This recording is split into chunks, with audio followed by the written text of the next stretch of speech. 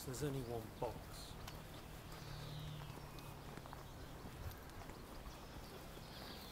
Yeah, well maybe you take it in turns.